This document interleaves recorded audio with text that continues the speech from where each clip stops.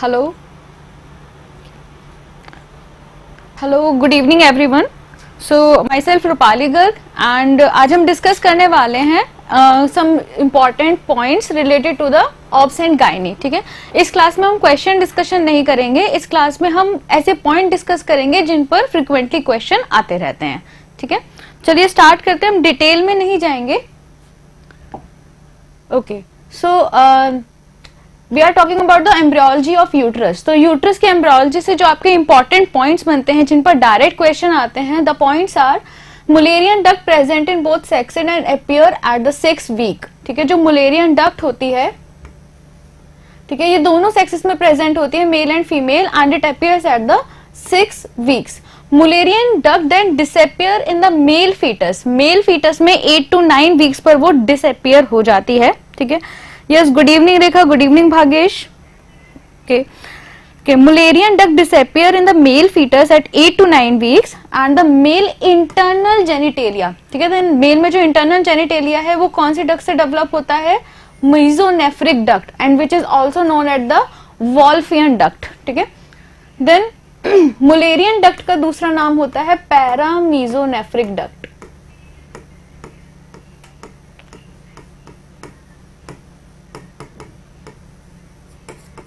ठीक है? तो मेल में जो इंटरनल जेनिटेलिया है, वो कहाँ से डेवलप हो रहा है? वॉल्फियन डक्ट से। और फीमेल में जो इंटरनल जेनिटेलिया डेवलप होगा, वो डेवलप होगा मुलेरियन डक्ट से। मुलेरियन डक्ट प्रेजेंट दोनों सेक्सेस में होती है देन मेल फीटस में वो डिसअपियर हो जाती है around eight to nine weeks ठीक है? So you need to remember this okay good evening Dilip good evening Pawan good evening Pooja then next Mullerian duct give rise to fallopian tube as I told you कि Mullerian duct male female internal genitalia बनाएगी fallopian tube हो गया then uterus हो गया cervix हो गया then vagina upper two third upper two third vagina upper two third of the vagina is also develop from the Mullerian duct and the lower one third of vagina ये question important है। अगर question में आपसे पूछा जाता है कि vagina में अपर टू थर्ड कहाँ से डेवलप हो रहा है तो आप आंसर करोगे Mullerian duct and lower one third of the vagina is develop from the urogenital sinus and which is endodermal in origin it is mesodermal in origin and it is endodermal in origin तो आपको question में ध्यान देना है कि upper to to third पूछा गया है या फिर lower two third lower one third पूछा गया है। Then they are some anatomical fact ठीक है? पहला है वाटर अंडर ब्रिज अच्छा इस टाइप के क्वेश्चन बहुत इंपॉर्टेंट है जो डायरेक्टली पूछे जाते हैं, पूछे जाते हैं कि वाटर अंडर ब्रिज क्या है या फिर पैक सेल्स कहाँ पर प्रेजेंट होते हैं, ठीक है? Iceberg sign in the ultrasound कहाँ पर देखने के लिए मिलता है। तो जो इस तरह के टर्मिनोलॉजी है, इस तरह के की पॉइंट्स हैं आपको वो याद रखने हैं। तो वाटर अंडर ब्रिज हम किसके लिए बोलते हैं? जहाँ पर यूट्राइन आर्टरी क्रॉस करती है यूरिटर को, ठीक है? तो होता क्या है कि यूरिटर नीचे प्रेजेंट होगा एंड यूट्राइन आर्टरी उसके ऊपर प्रेजेंट होगी तो during the removal of the uterus या फिर uterine artery there is the chances of the like उसमें हमारे यूरिटर के इंजर होने के ज़्यादा चांसेस रहते हैं। तो यूरिटर नीचे की तरफ़ है, यूट्राइन आर्टरी ऊपर की तरफ़ है तो this point is known as the water under the bridge तो water under the bridge is the most common site for the ureter injury जैसा कि मैंने बताया कि ड्यूरिंग द हिस्टेरेक्टमी जब रिमूव करेंगे यूट्रस को यूट्राइन आर्टरी को तो इस टाइम पर यूरिटर के इंजर होने के ज़्यादा चांसेस रहते हैं बिकॉज़ अप्रोक्सीमेटली इस्चिल स्पाइन के टू सेंटीमीटर के ऊपर ये पॉइंट आता है ठीक है? जहाँ पे जो यूट्राइन uh, आर्टरी है और यूरिटर है यूरिटर नीचे प्रेजेंट है यूट्राइन आर्टरी उसके ऊपर प्रेजेंट है। Then during menstruation blood is lost from the spiral artery. ठीक है spiral artery are those artery which actually supplies the blood to the endometrium तो जब मेंस्ट्रुएशन होता है तो मेंस्ट्रुएशन में स्पाइरल आर्टरी से ब्लड लॉस होता है। तो अगर आपसे क्वेश्चन पूछा जाए कि मेंस्ट्रुएशन में जो ब्लड एक्चुअली लॉस हो रहा है इट इज़ ड्यू आर्टीरियल और venous then your answer will be it is arterial blood ठीक है? It is not the venous blood तो यहाँ पर भी आपके दो तीन क्वेश्चन बन जाते हैं कि वाटर अंडर ब्रिज किस किस से मिलकर बनता है, ये कहाँ पर प्रेजेंट होता है? देन मेंस्ट्रुएशन में जो ब्लड लॉस है इट इज़ यस वीनस और arterial yes Rekha correct pack cells are present in the fallopian tube then shape of the uterus so uterus की क्या शेप होती है? It is pyriform shape pear shaped होता है, ठीक है? देन वेट नली पैरा की बात करें मतलब द जो फीमेल है, जब अभी उसका कोई भी बर्थ नहीं हुआ, उसने कोई भी बर्थ नहीं दिया तो वहाँ पर होगा 50 टू 70 ग्राम मल्टी पैरा है तो 80 ग्राम ठीक है? देन टर्म प्रेगनेंसी आप देखिए टर्म प्रेगनेंसी पर वेट कितना हो गया है? One K G and immediately after delivery it is also one K G ठीक है? तो यहाँ पर छोटे छोटे क्वेश्चन डायरेक्ट क्वेश्चन बनते हैं कि नली पैरा में कितना वेट होगा या फिर टर्म प्रेगनेंसी में कितना वेट होगा। Then they are some important one liner ठीक है? क्वेश्चन जिन पर डायरेक्टली पूछे जाते हैं, जैसे कि मैंने आपको बताया, हम यहाँ पर डिटेल डिस्कशन नहीं कर रहे हैं। I am not going to explain everything in the detail but यहाँ पर हम कुछ की पॉइंट डिस्कस कर रहे हैं, जिनके ऊपर डायरेक्ट क्वेश्चन बनते हैं, ठीक है? तो आप इसको नोट करते रहिए अपने नोट्स में, और जो भी आपको इंपॉर्टेंट लगता है, वैसे तो सारे ही पॉइंट इंपॉर्टेंट है but some things you know and some things you don't know तो जो आपको नहीं पता है, आप उसको नोट्स में अपने लिख लीजिए and you need to remember that so tubal blockage is the most commonly seen with this infection ठीक है? क्लेमाइडिया ठीक है? क्लेमाइडिया ट्रैकोमेटिस जो बैक्टीरिया है this causes tubal blockage then अगर क्वेश्चन पूछा जाए कि प्रेगनेंसी में कॉन्स्टिपेशन प्रेगनेंसी में कॉन्स्टिपेशन बहुत कॉमन सी चीज़ है, बहुत आम सी चीज़ है तो किस वजह से होती है? It is due to this hormone progesterone ठीक है? किस हार्मोन की वजह से कॉन्स्टिपेशन होता है? प्रेगनेंसी में प्रोजेस्ट्रॉन की वजह से. Then T shaped uterus T shaped uterus seen due to this drug exposure और ड्रग का नाम है DES that is diethylstilbestrol T shaped uterus normally आप देखोगे तो यूट्रस के अंदर जो यूट्राइन कैविटी है it is triangular in shape ठीक है? बट इस ड्रग के एक्सपोजर से जो यूट्रस की जो यूट्राइन कैविटी है, वो टी शेप्ड हो जाती है। और वो टी शेप होने की वजह से there are chances of miss ठीक है? Then there are chances of the ectopic pregnancy then this is the most common question कि कौन सा फ्रूट जूस है which can prevent the urinary tract infection UTI cranberry juice बहुत बार आपके previous year question में भी पेपर्स में भी आया हुआ है। क्रैनबेरी जूस की प्रॉपर्टी क्या होती है? Due to its anti adhesion property basically ये इकोलाई को अडेजन होने से इकोलाई को वहाँ पे ग्रोथ होने से उसको रोकता है। ठीक है? तो यहाँ पर आपको याद रखना है प्रोजेस्ट्रॉन कॉन्स्टिपेशन करता है डीएस के एक्सपोजर से टी शेप यूट्रस होगा then fruit juice which is cranberry ठीक है prevents UTI and tubal blockage का जो मोस्ट कॉमन इन्फेक्शन है that is chlamydia then next tip of iceberg sign on the ultrasonography ठीक है USG that it is seen in the dermoid cyst of ovary जैसे कि मैंने आपको बताया अभी आइसबर्ग साइन तो आइसबर्ग साइन में यूएसजी uh, में हमें क्या दिखता है कि सिर्फ़ उसकी जैसे टिप ऑफ़ आइसबर्ग का क्या मतलब है कि जो मेन चीज़ है that is hidden it is not seen in the USG तो डर्मोइड सिस्ट ऑफ़ ओवरी में इसमें क्या होगा like it is collected with the sebum hair और फ्लूइड तो हमें यूएसजी में सिर्फ़ it is it seems like tip of iceberg and the most जो सिस्ट है इट इज़ इनविजिबल वो यूएसजी में नहीं आती है. तो it is tip of iceberg sign then carbon cannula ठीक है कार्बन कैनुला क्या होता है? बहुत ही फ्लेक्सिबल कैनुला होता है. Mainly it is done for the vacuum aspiration ठीक है? And it is use for the vacuum aspiration endometrial aspiration में हम यूज़ करते हैं and it is highly flexible तो this cannula is use to prevent the uterine perforation ठीक है? Uterine perforation होने के चांसेस बहुत कम रहते हैं. Then most common clinical presentation of the genital TB ठीक है? मोस्ट कॉमन क्लिनिकल प्रेजेंटेशन क्या होगी? मतलब पेशेंट का प्रेजेंट क्या करेगा? क्लिनिकल साइन क्या होगा? तो that is infertility genital TB है तो most common clinical presentation is infertility तो आपको याद रखना है iceberg sign dermoid cyst of ovary में देखने को मिलेगा। कार्बन कैनला हम एंडोमेट्रियल एस्पिरेशन में यूज़ करते हैं। देन जेनाइटल टीबी का मोस्ट कॉमन क्लिनिकल प्रेजेंटेशन क्या है? Infertility okay yes Pooja very good MTB procedure में यूज़ होता है। Then next most common complication of trans abdominal hysterectomy ठीक है टीएएच दैट इज़ ब्लीडिंग तो इस टाइप के क्वेश्चन भी बहुत पूछे जाते हैं कि टीएएच का मोस्ट कॉमन कॉम्प्लिकेशन क्या होगा।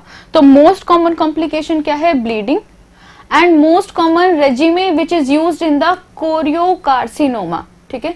इसमें क्या है? एमएसई रेजिमे कोरियोकार्सिनोमा मतलब ये आपकी क्या हो गया? जीटीडी जेस्टेशनल ट्रोफोब्लास्टिक डिसीज के अंदर ही आएगा। ठीक है मैक रेजिमे में क्या होता है? इसमें मिथोट्रिक्सेट यूज़ करते हैं। Then act D act D is dactinomycin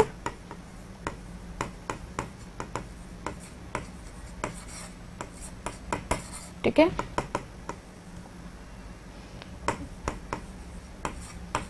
तो इस टाइप के जो छोटे छोटे क्वेश्चन हैं, वो भी आपसे पूछे जाते हैं कि मैक रेजिमे किसमें यूज़ होता है कोरियोकार्सिनोमा या जीटीडी में या मैक रेजिमे में हम क्या यूज़ करते हैं? कोई बता सकता है मुझे मीथोट्रिक्सेट डेक्टिनोमाइसिन के अलावा? सी से हम क्या देते हैं? Which is the drug anybody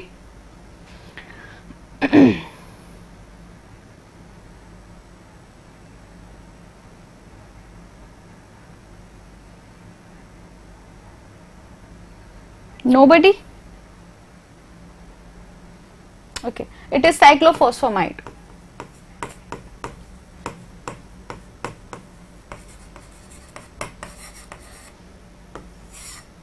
ठीक है तो MAC regime it is use in the GTD gestational trophoblastic disease या फिर कोरियोकार्सिनोमा एंड मैक रेजिमे में हम ये सब यूज़ करते हैं then most common cause of the tubal disease तो मोस्ट कॉमन कॉम्प्लिकेशन जो थी टीएच की bleeding and most common cause of the tubal disease is PID pelvic inflammatory disease जैसे कि हमने पहले भी दिखा था ट्यूबल ब्लॉकेज में क्या आया था? Chlamydia then most common fetal complication of the forcep application तो अगर आप फोरसेप से uh, मतलब डिलीवरी कर रहे हैं फोरसेप अप्लाई कर रहे हैं तो मोस्ट कॉमन फीटल कॉम्प्लिकेशन क्या होता है? एसफिक्सिया ओके तो ये आप नोट डाउन कर लो कि किसके क्या कॉम्प्लिकेशन है, कौन सा रेजिमे मैक रेजिमे कोरियोकार्सिनोम में यूज़ होता है, कौन कौन से ड्रग्स यूज़ होते हैं then most common cause of the tubal disease and most common fetal complication ये तो क्वाइट ऑब्वियस है कि most common fetal complication of the forcep application is asphyxia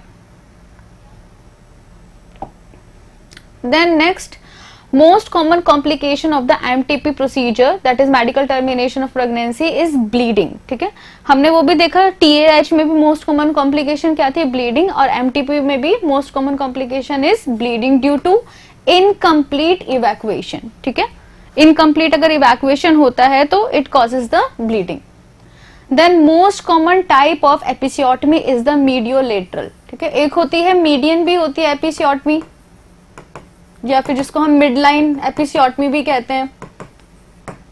और दूसरी होती है मीडियोलेटरल तो एपिसियोटमी जैसे कि आपको पता है कि अगर मैक्रोसोमिया है या फिर कोई प्राइमी है तो उस टाइम पर जो इंसीजन दिया जाता है, वो एग्जैक्ट मिड लाइन में भी दिया जा सकता है and at the angle 45 degree angle पर भी दिया जाता है। तो जो मिड लाइन में दिया जाता है मीडियन एपिसियोटमी जिसे हम कहते हैं they are are chances to the injury to the anal area तो इसलिए जो मोस्ट कॉमन टाइप है एपिसियोटमी का दैट इज़ मीडियोलेटरल जिसमें हम 45 डिग्री के एंगल पर देते हैं। Then most common complication of the forcep application that is extension of the episiotomy जो आपने एपिसियोटमी दिया है and you are applying the forcep also तो extension of episiotomy is the most common complication then most common site for the ectopic pregnancy ठीक है? Ectopic pregnancy ampulla okay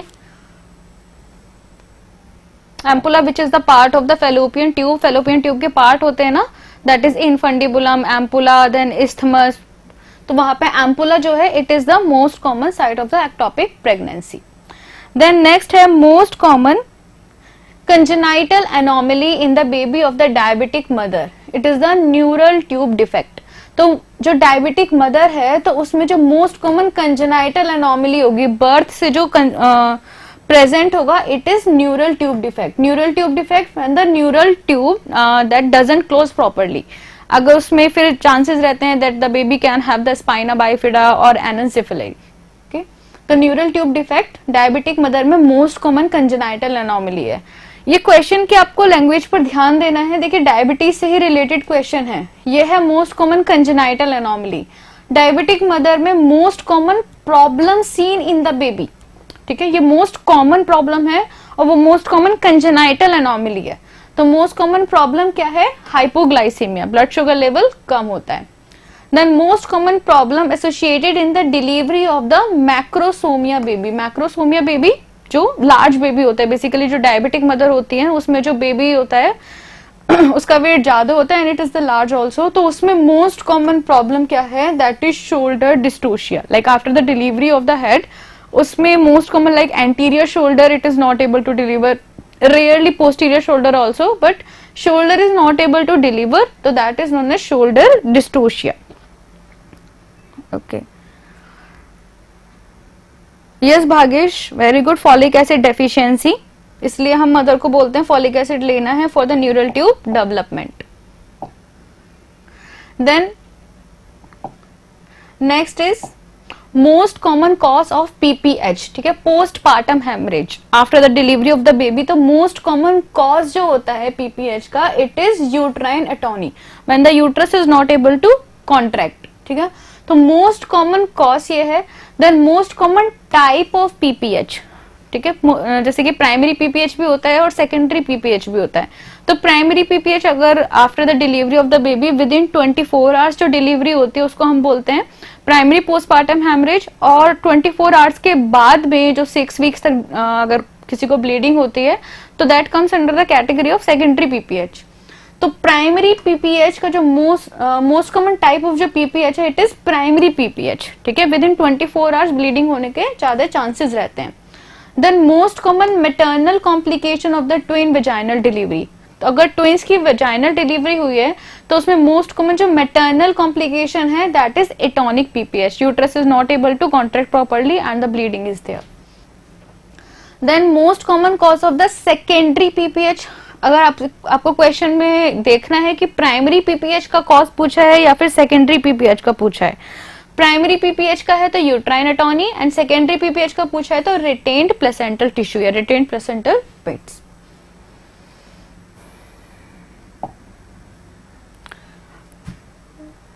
yes Karishma good more than 500 hundred M L blood loss more than 500 hundred M L blood loss हम vaginal delivery में कहते हैं कि PPH है और जो सिजेरियन होता है उसमें हम थाउज़ेंड एम तक लेकर चलते हैं. More than thousand M L comes under the category of PPH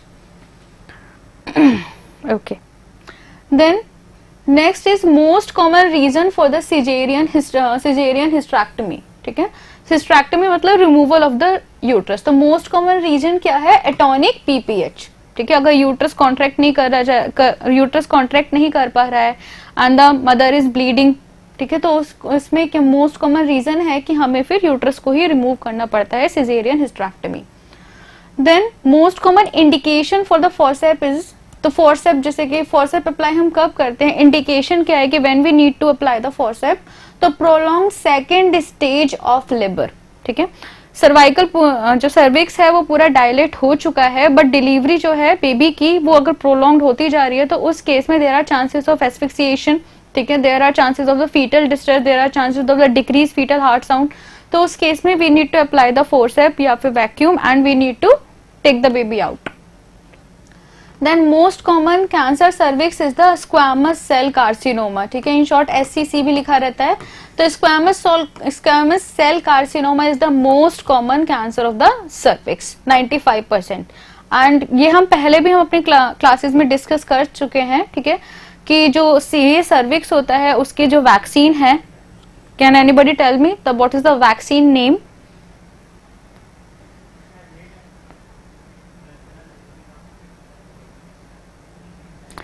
yes good evening everyone. Good evening hansu. Okay swaroop kamla. Okay. So what is the name of the vaccine which is used to prevent the hpv infection which causes the cervical cancer? Gardasil good. Okay next question no sorry next point ovulation occurs at the fourteenth day before menstruation एक बार class में किसी ने पूछा भी था कि ठीक है कि अगर नॉर्मली जो भी हम पढ़ते हैं, उसमें 28 डेज़ एवरेज हम मेंस्ट्रुअल साइकिल लेकर चलते हैं. बट अगर 28 डेज़ से ज़्यादा है 28 डेज़ की जो एवरेज मेंस्ट्रुअल साइकिल होती है, हम उसमें ओव्यूलेशन डे फोर्टींथ डे पर रखते हैं. ठीक है? बट अगर जो मेंस्ट्रुअल साइकिल है, अगर वो 28 डेज़ नहीं है सपोज़ वो 35 डेज़ है तो उसमें ओव्यूलेशन डे क्या होगा? तो ओव्यूलेशन डे लिखा हुआ है it occurs fourteenth day before menstruation next menstrual cycle जो आएगी, उसमें से हमें फोर्टीन डे माइनस करने हैं, ठीक है? तो अगर 35 डेज़ की जो साइकिल है तो you need to minus the 14 days in the 35 तो अगर 35 में से 14 डेज़ माइनस करोगे तो आपको क्या मिलेगा? ट्वेंटी फ़र्स्ट डे को उसका ओव्यूलेशन डे होगा, ठीक है? नेक्स्ट साइकिल से आपको 14 डेज़ पहले लेकर चलना है। Then proliferative endometrium is due to the effect of estrogen estrogen it causes the proliferation of the endometrium then endometrium after ovulation is known as the secretory endometrium ठीक है आपने देखा होगा menstrual phase के साइकिल होते हैं ठीक है proliferative phase हो गई ovulatory phase हो गई secretory phase हो गई ओके okay? तो ये आपको याद रखना है तो ओव्यूलेटरी फ़ेज़ के बाद या फिर ओव्यूलेशन के बाद में जो एंडोमेट्रियम है, उसको हम क्या बोलते हैं? सिक्रीटरी एंडोमेट्रियम और secretory endometrium is due to the effect of progesterone तो ओव्यूलेशन के पहले वो प्रोलिफरेट होगी. तो proliferative endometrium is due to the effect of the oestrogen then उसके बाद में हम उसको सिक्रीटरी एंडोमेट्रियम बोलते हैं and it is due to the effect of progesterone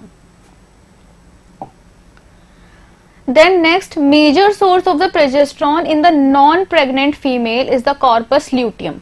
तो एज यू नो कि जब ओव्यूलेशन हो जाता है तो ओव्यूलेशन होने के बाद में कॉर्पस ल्यूटियम बनता है and corpus luteum secretes progesterone तो कॉर्पस ल्यूटियम की जो बेसिकली लाइफ स्पैन होता है it is around the fourteen days जैसे कि ओव्यूलेशन हुआ, ठीक है? ओव्यूलेशन होने के बाद में कॉर्पस ल्यूटियम फॉर्म हो गया। अब कॉर्पस ल्यूटियम सिर्फ़ 14 डेज़ तक ही प्रोजेस्ट्रॉन रिलीज़ करता है। उसके बाद में कॉर्पस ल्यूटियम खत्म, ठीक है? वो कॉर्पस एल्बिकैंस में कन्वर्ट हो जाता है और फिर खत्म। तो कॉर्पस ल्यूटियम जो कि 14 डेज़ तक ही प्रोजेस्ट्रॉन सिक्रीट करता है, इसीलिए जब कॉर्पस ल्यूटियम 14 डेज़ बाद खत्म होगा नेक्स्ट मेंस्ट्रुअल साइकिल स्टार्ट हो जाएगी, क्योंकि उसका जो लाइफ स्पैन है दैट इज़ ओनली 14 डेज़ ठीक है? तो मेजर सोर्स जो होता है नॉन प्रेग्नेंट फीमेल में वो क्या है? Corpus luteum which remains viable for the 14 days after the ovulation hence, secretory phase phase is also known as luteal phase तो ओव्यूलेटरी फ़ेज़ के बाद में या फिर ओव्यूलेशन के बाद में जो एंडोमेट्रियम है, ठीक है, उसको हम क्या बोलते हैं? Secretory endometrium and this is also known as the secretory phase और उसी फ़ेज़ में ओव्यूलेशन होने के बाद में क्या स्ट्रक्चर बनी है? कॉर्पस ल्यूटियम तो इसलिए that phase is also known as the luteal phase then most important muscle of the pelvic floor is the levator ani तो लिवेटर एनाई क्या करता है? जो पेल्विक फ्लोर की जो मेन मसल है it is the levator ani which actually supports the uterus and the other female internal genital organs levator ani का नाम बहुत जगह आता है तो it is the most important muscle of the pelvic floor then endometrium of the pregnancy is called the decidua ठीक है? आपने बहुत सारे बुक्स में पढ़ा होगा कि जब आ, कि डेसीडुआ बेसालिस या डेसीडुआ कैप्सुलरिस ठीक है? तो एक्चुअली डेसीडुआ एंडोमेट्रियम का ही नाम है। प्रेगनेंसी में एंडोमेट्रियम को हम क्या बोलते हैं? डेसीडुआ ठीक है? जब एक्चुअली एम्ब्रियो इम्प्लांटेड हो जाता है जब बेबी का डेवलपमेंट होता है तो जो रेस्ट ऑफ़ द पार्ट है उसको हम क्या बोलते हैं? एंडोमेट्रियम सॉरी डेसीडुआ कैप्सुलरिस और जो uh, जो पार्ट उससे अटैच होता है जो बेसिकली प्लेसेंटा की साइड होगा that is endometrium basalis then pH of the vagina in the adult woman is 4 to 5.5 that means acidic in nature. ठीक है? तो ये भी काफ़ी इंपॉर्टेंट पॉइंट है। कॉर्पस ल्यूटियम कब फॉर्म होता है। उसका लाइफ स्पेन 14 डेज़ है। उसको ल्यूटियल फ़ेज़ कहते हैं। पैलिक फ्लोर की most important muscle then endometrium in endometrium of pregnancy is called decidua and the pH of the vagina then vaginal secretions are basically they are cervical secretion cervical glands are present there then bartholin gland secretion bartholin duct से जो secretion आता है during coitus तो bartholin gland as you know bartholin gland is the um, bartholin glands are present in pair and they are they open in the vestibule and they are present on the both sides of the vagina. Vagina में दोनों तरफ़ present होती है दोनों side Bartholin gland Bartholin cyst it is the most common Bartholin gland अगर infected हो जाती है तो वहाँ पर उसके अंदर फ्लूइड कलेक्ट होने लगता है और बार्थोलिन डक्ट से सिक्रीशन बाहर नहीं आ पाते then it leads to the Bartholin cyst then epithelial lining ये कुछ क्वेश्चन हैं जो मैंने एक जगह पर लिख दिए हैं बहुत कॉमनली uh, पूछे जाते हैं कि फेलोपियन ट्यूब की एपिथीलियल लाइनिंग क्या है?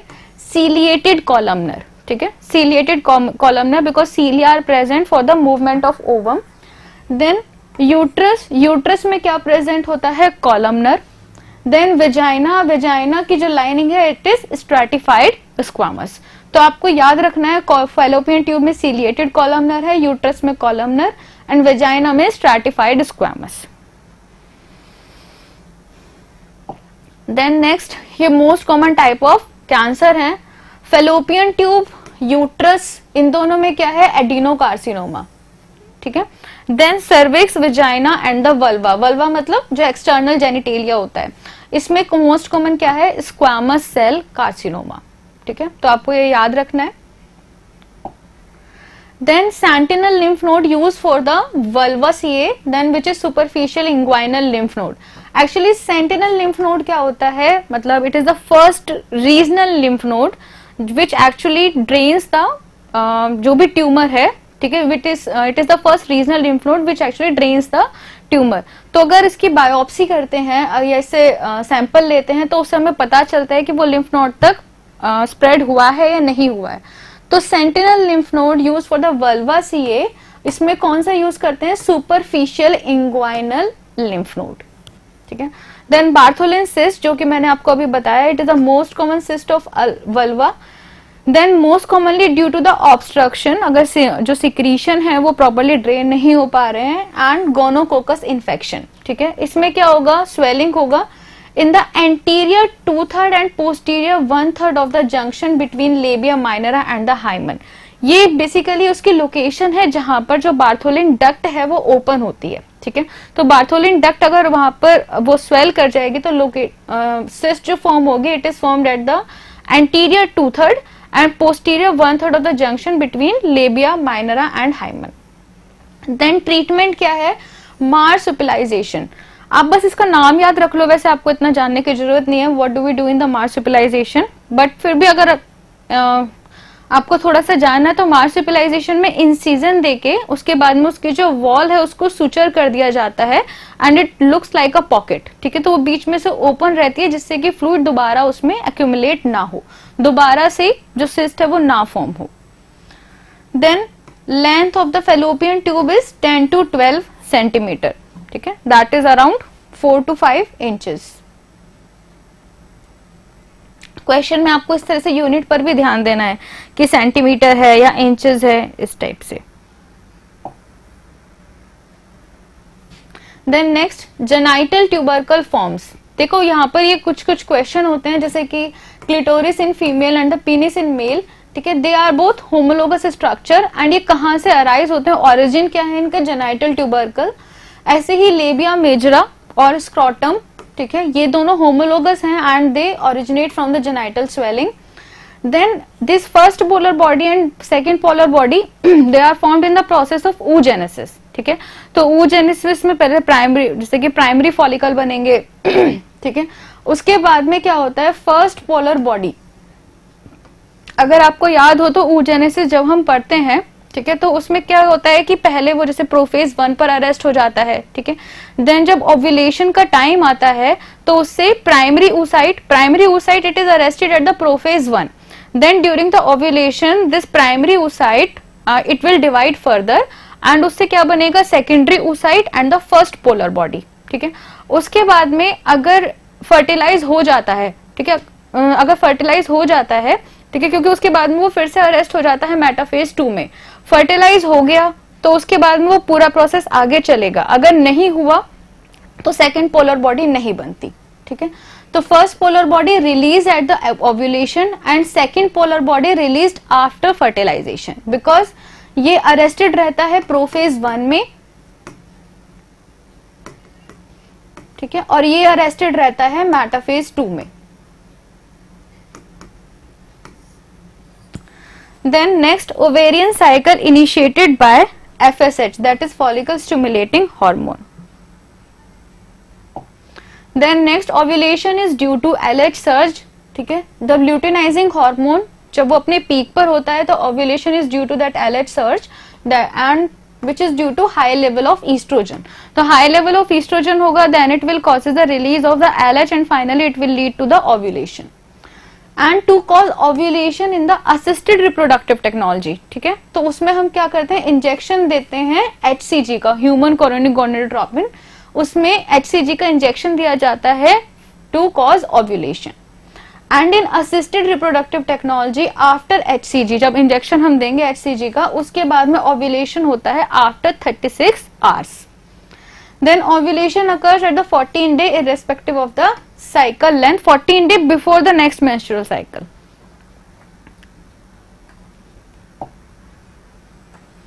then next corpus luteum secretes progesterone mainly and estrogen relaxin inhibin a ये सब इसके secretion है देन जैसे कि मैंने बताया कॉर्पस ल्यूटियम का लाइफ स्पैन क्या होगा 14 डेज़ एंड मैक्सिमम जो फ़ंक्शन है या पीक एक्टिविटी है वो कब पहुँचती है कॉर्पस ल्यूटियम की एट डे आफ्टर ओव्यूलेशन या फिर हम कह सकते हैं twenty second days of the cycle यहाँ पर हम कंसीडर कर रहे हैं twenty eight days average cycle then next है most common cause of the primary amenorrhoea ठीक है? प्राइमरी एमनोरिया का मोस्ट कॉमन कॉज क्या है? गोनाडल डिसजेनेसिस अगर गोनाड्स यूनिफॉर्म हुए as it is seen in the Turner syndrome and most common cause of the secondary amenorrhoea ठीक है? Primary amenorrhoea कभी उसको एक्चुअली मेंस्ट्रुएशन हुआ ही नहीं है.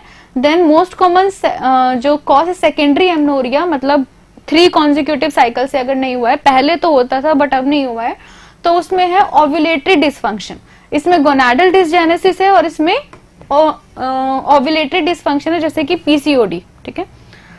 देन ये मुलेरियन एजेनेसिस है तो क्या क्या प्रेजेंट होगा? एमनोरिया होगा यूट्रस एबसेंट होगा but normal secondary sexual characteristics होंगे। Then triads of the MRKH syndrome Mullerian agenesis renal anomalies, and the skeletal anomalies. Can anybody tell me the full form of this mrkh syndrome?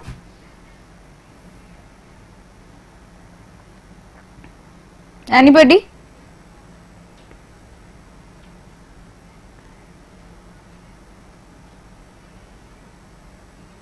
PCOD का या PCOS को ठीक है, दोनों ही सही है।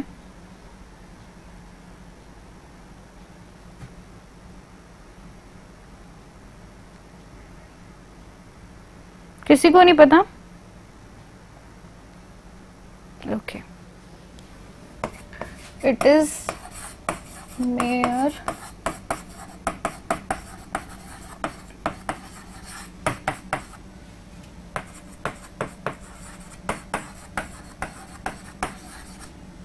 if anybody wants to note down के पवन लिख रहे थे पर बीच में रुक गए।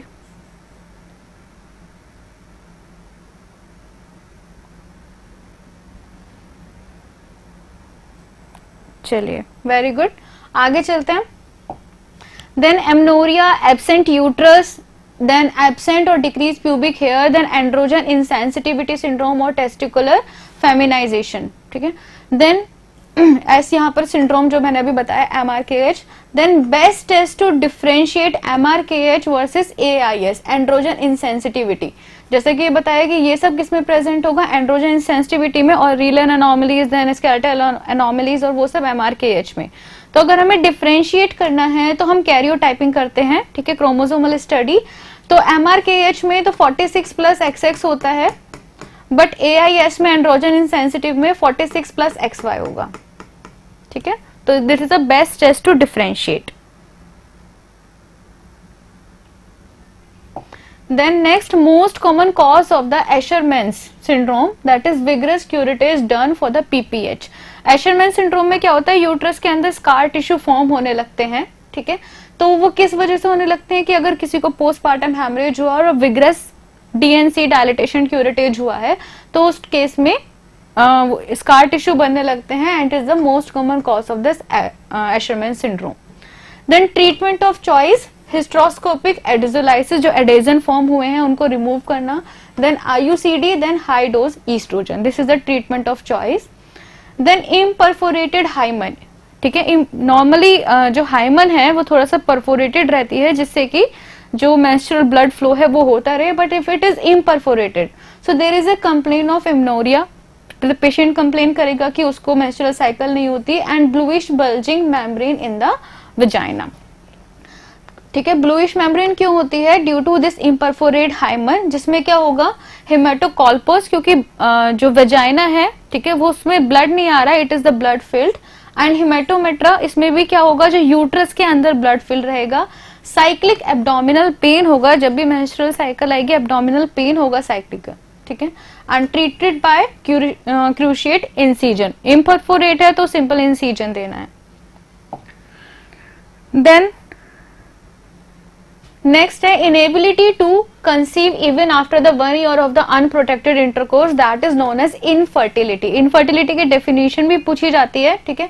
अगर वन ईयर के बाद भी इनेबिलिटी टू कंसीव है that is known as infertility and most common female factor for infertility is the PCOD जो आप पीसीओएस भी कह रहे थे both are the same thing and most common male factor is the psychogenic only then test of ovulation serum progesterone level ठीक है best done at the day 21 then transvaginal sonography जो कि मोस्ट कॉमनली यूज़ होता है. Then endometrial biopsy cervical mucus then vaginal cytology and the basal body temperature ovulation को test करने के लिए ovulation day then peri ovulatory uterus show trilaminar sign trilaminar sign is basically use to see मतलब sign है जिसमें हमें दिखते हैं एंडोमेट्रियम की, जो लेयर है तीनों, ठीक है यूट्रस की जो लेयर है, ये देखने के लिए that like how much thick they are and they are ready for the implantation और not then first stage of labour labour के फोर स्टेजेस होते हैं तो फ़र्स्ट स्टेज ऑफ़ लेबर में क्या होगा? ट्रू लेबर पेन शुरू हो जाते हैं and to the full cervical dilatation ठीक है? 10 सेंटीमीटर लेबर पेन से लेकर 10 सेंटीमीटर के डायलिटेशन वाले पीरियड को हम क्या कहते हैं? फ़र्स्ट स्टेज ऑफ़ लेबर ठीक है? देन उसके बाद में डिलीवरी तक बेबी की डिलीवरी तक सेकेंड स्टेज देन प्लेसेंटा की डिलीवरी तक third stage and fourth stage one hour observation after मतलब पोस्ट डिलीवरी जो वन आवर ऑब्जर्वेशन करते हैं। देन ट्रू लेबर पेन ये भी आता है कि ट्रू लेबर पेन और फॉल्स लेबर पेन में डिफरेंस तो ट्रू लेबर पेन में प्रोग्रेसिव डायलिटेशन होगा सर्विक्स धीरे धीरे डायलेट करेगा इफेसमेंट होगा शो होगा मतलब जो ब्लड स्टेन्ड डिस्चार्ज है then contraction increase in the duration and frequency both ठीक है? कॉन्ट्रेक्शन की फ्रीक्वेंसी बढ़ने लगती है और उसका टाइम पीरियड ड्यूरेशन भी बढ़ने लगता है एंड इंटेंसिटी ऑल्सो तो this is known as a true labour pain false labour pain में शो नहीं रिलीज़ होगा देन जो रेस्ट करने पर है वो या फिर जो लेबर पेन है वो खत्म भी हो जाते हैं एंड कॉन्ट्रेक्शन इंक्रीज नहीं होते ड्यूरेशन फ्रीक्वेंसी में। देन फ़र्स्ट स्टेज ये टाइम ड्यूरेशन दिया हुआ है। जो फ़र्स्ट स्टेज ऑफ़ लेबर है, नली पैरा में रहती है around twelve hours and multi para में रहती है एट आवर्स ठीक है? मतलब जो प्राइमी है, जो उसने अब तक कभी बर्थ नहीं दिया है, उसमें ट्वेल्व आवर की ड्यूरेशन रहेगी और मल्टी पैरा में eight hours then prolong first stage कब बोलते हैं, जो प्राइमी है या नली पैरस है, उसमें अगर नॉर्मली तो 12 आवर्स बट अगर 20 आवर्स हो चुके हैं, उससे ज़्यादा हो रहा है तो we call it prolong first stage और मल्टी पैरा में बोलते हैं 14 आवर्स के बाद, ठीक है? Then rate of cervical dilatation active stage जो हम बोलते हैं तो जो प्राइमी है या नली पैरस है, उसमें होता है 1.2 सेंटीमीटर पर आर और मल्टी पैरा में 1.5 सेंटीमीटर पर आर एक घंटे में इतना वो इंक्रीज होता रहता है, इतना डायलेट होता रहता है। देन रेट ऑफ़ डिसेंट जो बेबी डिसेंट होगा फाइनली वो इफेस करेगा। दैट इज़ नली पैरा है तो वन सेंटीमीटर पर आर और मल्टीपेरस में two centimetre per hour and most common type of pelvis in the female ठीक है which is highly suitable for the vaginal delivery it is gynaecoid pelvis other pelvis are also present जैसे कि anthropoid हो गया, ठीक है then प्लेटिपोलॉइड pelvis हो गया, ठीक है, इस टाइप से। But most common type of pelvis in female is gynaecoid pelvis least common type of pelvis it is platypelloid pelvis तो पेल्विस को जो हमने क्लासिफाई किया है on the basis of the pelvic inlet then vaginal delivery is never possible in the Naegele's and Robert's pelvis ठीक है Naegele's pelvis क्या होता है? अगर one sacrum ala is absent जो सैक्रम का जो विंग होता है, ठीक है? अगर वो एबसेंट है वन साइड तो it is called the Naegele's pelvis और रॉबर्ट पेल्विस बोलते हैं if the both of the sacra sacrum ala are absent तो दोनों ही केस में that pelvis is not suitable for the vaginal delivery yes Bhagesh gynaecoid is the most favourable pelvis ठीक है? Then next slow progress of labour is called the dystocia ठीक है then it will lead to the difficult delivery then arrest of labor. That means no change in the cervical dilatation cervix dilate नहीं हो रहा है even after two hours of adequate uterine contraction ठीक है adequate uterine contraction हो रहे हैं but अगर सर्वाइकल डायलिटेशन नहीं हो रहा है तो it is on the arrest of labour and treatment is the L S C S lower segment caesarean section then most common cause of the vesico-vaginal fistula, that means it is abnormal opening between the bladder and the vagina wall. तो most common cause जो होता है in the developing country is the obstructed labour ठीक है? Treatment for the obstructed labour again L S C S then next obstructed labour with the ठीक है? अगर obstructed labour with the IUD है also L S C S इसमें हम no role of the destructive procedure at all.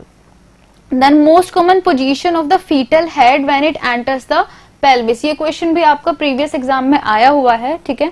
कि जब fetal head enter करेगा pelvis में तो मोस्ट कॉमन पोजीशन क्या रहती है? It is L O A left occipito anterior ठीक है? It is the most common position याद रखना है आपको।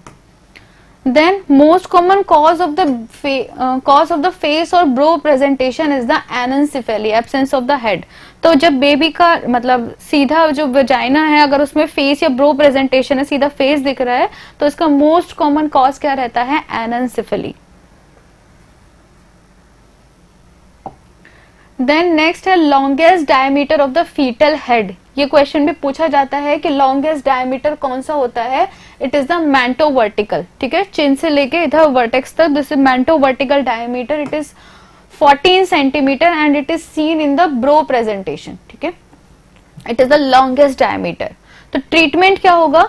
अगेन ब्रो प्रेजेंटेशन का caesarean section no role of the vaginal deliveries here then grid iron feel जैसे कि ये अब डायरेक्ट क्वेश्चन आता है कि ग्रिड आयरन फील हमें कब फील होती है? If the baby is in the transverse lie uterus में अगर वो हॉरिजेंटली लाई कर रहा है ट्रांसवर्सली लाई कर रहा है तो we feel the this is the grid iron feel ठीक है?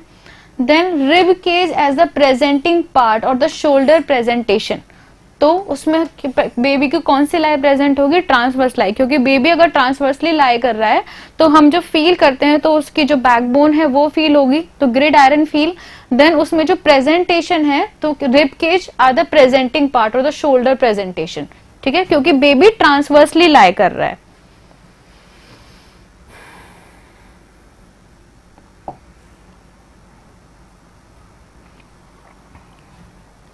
देन एल ओ ए ही होती है भाई most common presentation left occipito anterior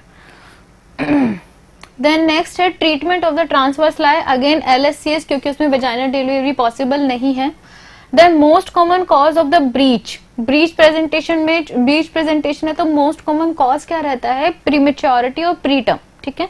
वैसे भी जब अल्ट्रासाउंड करते हैं तो अल्ट्रासाउंड में जो बेबी की जो प्रेजेंटेशन है, जो लाए है, वो चेंज होती रहती है, ठीक है? लास्ट में जब बेबी का जो थर्ड ट्राइमेस्टर स्टार्ट हो जाता है तो वन मंथ बिफोर जो एक्चुअली अल्ट्रासाउंड होता है, उसमें पता चलता है कि बेबी की जो ये लाए है, वो वो ही रहेगी, ठीक है? बट अगर बेबी प्री टर्म हो गया है या प्री मेच्योर अगर बेबी की डिलीवरी हो गई है तो उसमें चांसेस रहते हैं कि ब्रीच प्रेजेंटेशन क्योंकि पहले आपने सुना होगा, या किसी का देखा भी होगा कि अल्ट्रासाउंड कराया तो वो कहते हैं कि हमारा तो बच्चा उल्टा है। ठीक है? पर फिर कहते हैं कि बच्चा सीधा हो गया तो बच्चा जो है वो अंदर घूमता रहता है। तो अगर हम बाद में जब लेटर पीरियड में अल्ट्रासाउंड कराते हैं तो उस टाइम पर बेबी धीरे धीरे अपना प्रेजेंट होने लगता है, ठीक है? Then highest risk of the cord prolapse among all mal presentation ठीक है? तो हाइएस्ट रिस्क किसमें रहता है? ट्रांसवर्स लाई में रहता है कोड के निकलने का कोड के पहले आने का अम्लाइकल कॉर्ड के। Then star gazer baby footling breech with hyper extended neck ठीक है? तो उसको हम बोलते हैं star gazer baby then next है most common type is the frank breech frank breech में क्या होता है कि हिप्स फ्लेक्स्ड होते हैं और नीज एक्सटेंडेड रहते हैं. That is known as the frank breech and worst prognosis और the maximum cord prolapse among the breech is the footling breech footling breech में क्या होता है कि बेबी के नीज जो है वो फ्लेक्स रहते हैं और उसके जो पैर हैं, जो फुट हैं they they are the presenting part ठीक है? Then folds of the Hoboken they are seen in the umbilical artery then day twenty one तो ये अगर क्वेश्चन पूछा जाए कि क्वेश्चन आते हैं ना कि किस डे पर बेसिकली क्या चीज़ बननी स्टार्ट होती है तो फीटल सर्कुलेशन इज़ इंटैक्ट और the functional and separated from the mother circulation is at the date twenty one then next most common presentation is the cephalic that means head and most common presenting part is the vertex then most common cause of the primary PPH पहले भी आया था। Primary PPH का most common cause है uterine atony और secondary PPH का होगा retained placental tissue primary PPH uterus contract नहीं कर पा रहा है और सेकेंडरी पीपीएच अगर बाद में ब्लीडिंग हो रही है 24 फोर आवर्स के बाद में तो प्लेसेंटल टिश्यू अंदर रह गए हैं. Then most common cause of the uterine rupture ठीक है? यूट्रस के रप्चर होने का मोस्ट कॉमन कॉज क्या है? प्रीवियस सिजेरियन सेक्शन ठीक है? Then most common cause of the antepartum haemorrhage antepartum is that is abruptio placenta 1 in 200 and placenta previa 1 in 300 ठीक है? तो मोस्ट इंपॉर्टेंट रिस्क फैक्टर जो रहेगा दोनों के लिए abruptio placenta post placenta previa के लिए, कि दोनों की प्रीवियस हिस्ट्री रही है। पहले पहली प्रेगनेंसी में प्लेसेंटा प्रीविया रहा या एब्रप्शियो प्लेसेंटा रहा है तो उस केस में this is the most important risk factor कि इस प्रेगनेंसी में भी ये होने के चांसेस हों। तो प्लेसेंटा प्रीविया है मतलब placenta is present in the lower uterine segment actually ठीक है? तो इसमें क्या प्रेजेंट होता है? Painless causeless bright red non tender uterus ठीक है? And normal fetal heart sound तो इसमें जो ब्लीडिंग होगी it is painless causeless and bright red ठीक है? टेंडर जो यूट्रस जो रहेगा it is non tender and fetal heart sound will be normal then abruptio placenta में पेनफुल होती है। प्लेसेंटा प्रीविया में पेनलेस है एब्रप्शो प्लेसेंटा में पेनफुल है। History of trauma will be there dark altered blood होगा। उसमें नॉन टेंडर यूट्रस था एब्रप्शो प्लेसेंटा में टेंडर यूट्रस है। उसमें फीटल हार्ट साउंड नॉर्मल थे, इसमें डिक्रीज है फीटल हार्ट साउंड ठीक है? तो जो इन्वेस्टिगेशन ऑफ़ चॉइस है फॉर द प्लेसेंटा प्रीविया और एब्रप्शो प्लेसेंटा हम क्या करते हैं? अल्ट्रासाउंड अल्ट्रासोनोग्राफी देन ये कुछ ऐसे क्वेश्चन है, जैसे कि पहले आया था, ठीक है, मैक रेजी में, जो हम किसमें यूज़ होता था दैट इज़ कोरियो कार्सिनोमा ऐसे ही आपको इनके डिटेल नहीं याद रखनी है बट इनके नाम ज़रूर याद रखने हैं, ठीक है? Paget's classification use for the abruptio placenta Macafee regimen is use for the placenta previa for the conservative management ठीक है? भले आपको डिटेल ना याद रहे कि इनके अंदर होता क्या है, जैसे कि मैकेफी रेजिमेन में क्या करते हैं कि अगर किसी को प्लेसेंटर प्रीविया है तो उसको एडमिट करते हैं देन पेशेंट को प्रॉपर ब्लड रेस्ट देते हैं देन उसका ब्लड अरेंज कराते हैं, ठीक है बेड रेस्ट दिया ब्लड अरेंज कराया। अगर 34 वीक्स अभी कंप्लीट नहीं हुए हैं तो फिर उसको स्टेरॉइड देते हैं डेक्सामेथोसोन वगैरह देते हैं फॉर द लंग मेच्योरिटी तो this regime is basically use for the conservative management of the placenta previa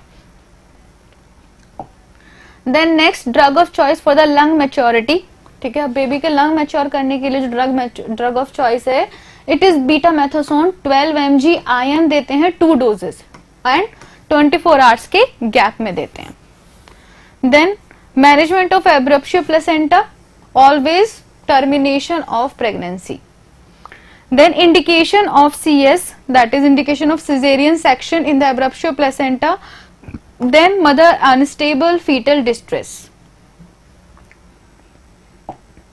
then drug of choice for the chronic hypertension in the pregnancy pregnancy में दिस इज़ सो कॉमन कि BP increase हो जाता है। तो अगर chronic hypertension है तो उसके लिए ड्रग ऑफ़ चॉइस क्या है? मिथाइल डोपा दिस क्वेश्चन ये भी पूछा गया है आपके प्रीवियस एग्जामिनेशन में, ठीक है?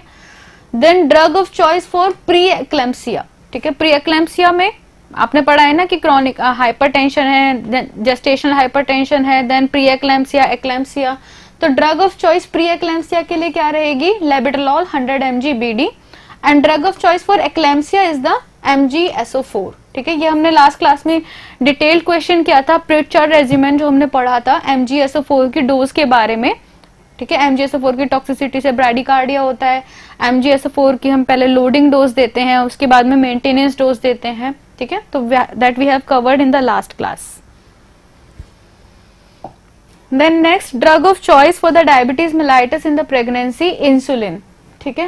And only and only F D approve जो है oral hypoglycaemic agent in the pregnancy is the glyburide insulin देते हैं बट एफ़ डी ए ने जो only O H A approve किया हुआ है that is glyburide MTP act कब आया था? 1971 में medical termination of pregnancy then opinion of two doctors needed if the period of gestation is more than 12 weeks then minimum age for the MTP consent is the 18 years then next, time of circlage operation, that is 12 to 14 weeks. And as I have told you कि आपको ये criteria ना भी याद रहे, जैसे कि Rubin criteria it is use for the cervical ectopic pregnancy ठीक है? कि इसमें ये देखते हैं कि अगर एक्टोपिक प्रेगनेंसी सर्विक्स में हो गई तो देर सम क्राइटेरिया कि सर्वाइकल ग्लैंड प्रेजेंट होने चाहिए, ठीक है? प्लेसेंटा के पीछे फीटल का कोई पार्ट प्रेजेंट नहीं होना चाहिए इन द यूट्रस तो that you do not need to know in the Rubin criteria but you need to know that Rubin criteria is use for the cervical ectopic pregnancy then most common non tubal site देख, पहले जो हमने पढ़ा था most common site for the ectopic pregnancy तो उसमें answer था ampulla ठीक है? बस बट इस क्वेश्चन में स्पेसिफिकली लिखा है नॉन ट्यूबल साइट तो non tubal site is ovary and overall most common ovarian tumour is the epithelial cell tumour ठीक है? जो हमने लिखा भी था most common ovarian tumour type of type of cancer में देखा था ना ओवरी के अंदर स्क्वामस सेल कार्सिनोमा ठीक है? तो epithelial tumour is the most common ovarian tumour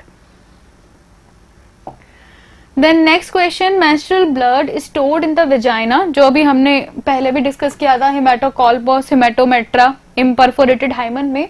तो menstrual blood is stored in the vagina is haematocolpos then in the diabetic mother most common fetal complication will be congenital heart disease ठीक है C H T then recurrence of the hydatidiform mole assessed by ठीक है beta hCG level beta hCG level काफ़ी बड़ा हुआ आता है।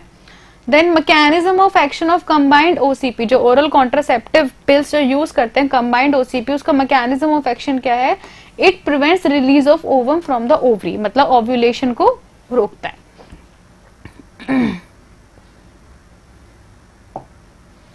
Then next is placental circulation established by the 21 days then oxygenated blood from the placenta goes to fetal heart via ductus venosus तो ये पूरा फीटल सर्कुलेशन होता है कि डक्टस विनोसस के थ्रू प्लेसेंटा से ऑक्सीजनेटेड ब्लड जाता है फीटस के हार्ट में। देन पेस मेकर अच्छा इस टाइप का क्वेश्चन भी पूछा जा सकता है like direct question pacemaker of the uterine contraction is located at तो आपको डायरेक्ट साइट के नाम याद रखना है ट्यूबल ओस्टिया ठीक है? यूट्राइन कॉन्ट्रेक्शन जहाँ से जनरेट होते हैं that is the pacemaker tubal ostia then next treatment of choice of the acute hydramnios with the fetal distress in the pregnancy ठीक है? तो एक्यूट हाइड्रोमनियोस है, जो एमनियोटिक फ्लूइड है, वो बढ़ रहा है विद द फीटल डिस्ट्रेस तो उसमें हम क्या करेंगे? Amniocentesis and cardiac activity in the fetus can be access by trans abdominal scan by six week ठीक है? हम उस टाइम पर कार्डिक एक्टिविटी को देख सकते हैं असेस कर सकते हैं। Then umbilical cord attach to the margin of placenta ठीक है ये प्लेसेंटल एबनॉर्मिलिटी होती है ना? Battledore placenta succenturiate placenta ये सब।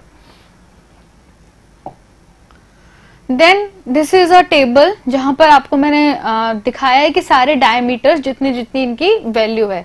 तो आ, जैसे कि बताया था आपको mento vertical it is the largest diameter ये आपको याद होना ही होना चाहिए 14 सेंटीमीटर और ये ब्रो प्रेजेंटेशन में ठीक है, दिखता है फेस प्रेजेंटेशन में। बाकी अदर डायमीटर सब ऑसिपिटो ब्रैगमेटिक सब ऑसिपिटो फ्रंटल ऑसिपिटो फ्रंटल ठीक है then submento vertical submento bregmatic तो ये भी आपको याद रखने हैं बट ये आपको याद रखना ही रखना है कि mento vertical largest diameter 14 centimetre ठीक है? Then next important vessels and their remnant most important question ठीक है? ये पूछा जाता है कि जो रेमिनेंट्स बच जाते हैं डक्टस विनोसस का क्या बच जाता है? Ligamentum venosus ductus arteriosus ligamentum arteriosus याद करना इजी है। डक्टस की जगह लिगामेंटम लिगामेंटम कर दो। देन अम्बलाइकल आर्टरीज रेमनेंट की हो जाएगा? Medial umbilical artery then left umbilical vein ठीक है? Ligamentum teres of the liver ठीक है? तो नाउ ये आपको याद रखना है as it is then next ये फंडल हाइट लैंडमार्क हैं कि कितने कितने जेस्टेशनल एज पे कहाँ कहाँ पर फंडल हाइट पहुँचती है। तो 12 वीक्स पर, ठीक है, जो फंडस है यूट्रस का, वो रीच करेगा प्यूबिस सिम्फाइसिस 24 वीक्स पर अम्बलाइकस 36 वीक्स पर xiphoid process of the sternum and 37 to 40 weeks पर regression of the fundal height between 36 and 32 centimetre ठीक है? तो पहले 36 वीक्स तक वो जिफॉइड प्रोसेस तक जाता है देन उसके बाद में लाइटनिंग होगा तो फंडल हाइट थोड़ा सा डिक्रीज हो जाएगी तो 37 टू 40 वीक्स पर रिग्रेशन हो जाता है फंडल हाइट का। Then there are some stages of labour as I told you stage one में यूट्राइन कॉन्ट्रेक्शन से लेके full cervical dilatation stage two में dilatation to the delivery of baby stage three में delivery of baby to the placental delivery और stage four में one hour postmortem ठीक है? तो यहाँ पर इनकी ड्यूरेशन ली हुई है, ठीक है? प्राइमरी में ये twelve hour two hour fifteen minute one hour यहाँ पर 15 मिनट वन आवर कॉमन है मल्टी पैरा में भी। स्टेज टू में जो डायलेट होने के बाद में जो बेबी डिलीवरी का टाइम है इट इज़ ओनली 30 मिनट्स और मल्टी पैरा में फुल डायलेट होने में भी सिक्स आवर्स लगते हैं। Then next is examination sign during pregnancy ये क्वेश्चन बार बार पूछे जाते हैं कि पामर साइन कब मिलता है वेजाइनल साइन गुडल साइन ठीक है पामर साइन जब रेगुलर रिदमिक यूट्राइन कॉन्ट्रेक्शन होंगे four to eight weeks vaginal sign soft soft vaginal wall with the copious six week mucous discharge तो यहाँ पर सिक्स वीक में दिखने को मिलेगा। गुडल साइन जब सर्विक्स सॉफ्ट फील होता है कंजेस्टेड फील होता है, ये भी सिक्स वीक्स में देखने के लिए मिलेगा। हैगर साइन इंपॉर्टेंट है. हैगर साइन में क्या होता है? Uterus is an large and soft ये आपको देखने को मिलता है six to eight week Osiander sign Osiander sign में इंक्रीज पल्सेशन है द लेटल फॉर्निसिस ये आपको कहा देखने को मिलता है? एट्थ वीक में, ठीक है? ऑसियंडर में भी देखोगे तो लेटर एट है तो एट्थ वीक में. देन चैडविक साइन और द जैकमर साइन ये, इसमें भी आप देखोगे तो कितने लेटर हैं टोटल एट हैं तो ये भी एट्थ वीक में देखने के लिए मिलता है। ठीक है? Dusky hue of the dusky hue of the vestibule anterior vaginal wall then this इसका एक साइन इसमें भी आप देखोगे टोटल कितने लेटर हैं? एट है तो ये भी एट्थ वीक में देखने के लिए मिलता है। तो आप इस तरीके से याद रख सकते हैं, ठीक है?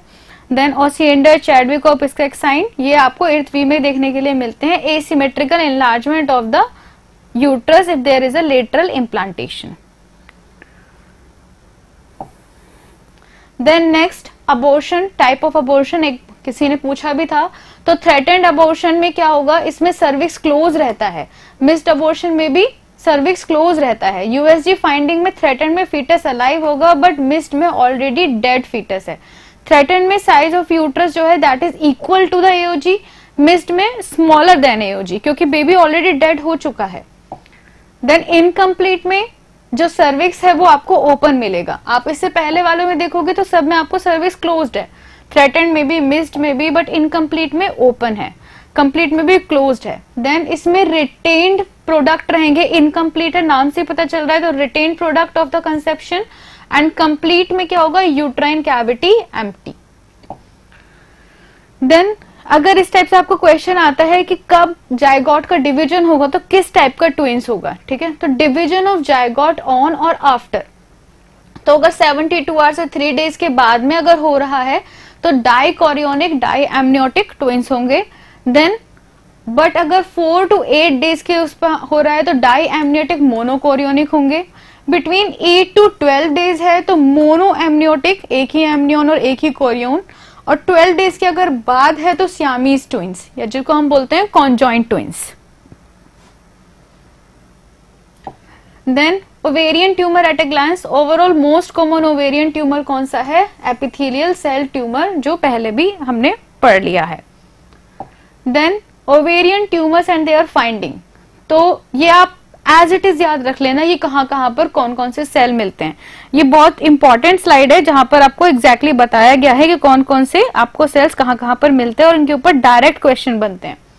सीरस स्टेडिनोमा इसमें कौन से बॉडी मिलते हैं? Psammoma bodies clear cell tumour hobnail cell yolk sac tumour Schiller Duval bodies granulosa cell Call Exner bodies and Krukenberg tumour that is signet ring cell ये आप एज इट इज़ याद रख लेना, ठीक है? क्योंकि डायरेक्ट क्वेश्चन पूछा जाता है। Then this is all about today's class ठीक है? तो आज हमने जो डिस्कस किया है, वो इम्पोर्टेंट वन लाइनर या इम्पोर्टेंट कुछ पॉइंट डिस्कस किए हैं जिनके ऊपर डायरेक्ट क्वेश्चन बनते हैं, ठीक है? कोई हमने डिटेल डिस्कशन नहीं किया है। इससे पहले भी आपकी जो क्लासेस हुई हैं, जो नकुल सर ने लिए हैं आपके निके मैम ने लिए हैं, उन्होंने एनाटमी डिस्कस किया है मेडिकल सर्जिकल साइकेट्री सब डिस्कस किया है, ठीक है? तो यहाँ पर कुछ इंपॉर्टेंट वन लाइनर है, क्योंकि आपका एग्ज़ाम आने वाला है। तो आपको अगर क्विक रिविजन करना है कि कौन कौन से इंपॉर्टेंट पॉइंट हैं that you need to focus तो this is just for the quick revision ठीक है? तो आगे भी ऐसी क्लास होती रहेंगी then we will discuss some other question some other important points and topic so hope you like this class okay और आपको बहुत सारे इंपॉर्टेंट पॉइंट देखने के लिए मिले कि कहाँ कहाँ पर प्रेजेंट होती है, कौन सी सेल और कहाँ कहाँ पर आपको फोकस करना है। So this is about the pack this price pack and everything जो मैं आपको हर क्लास में बताती हूँ कि प्राइस 599 में हम आपको ये सब फिफ्टीन ईयर्स के क्वेश्चन देते हैं द हाइड इंफॉर्मेशन है okay so all the best from my side study well and thank you so much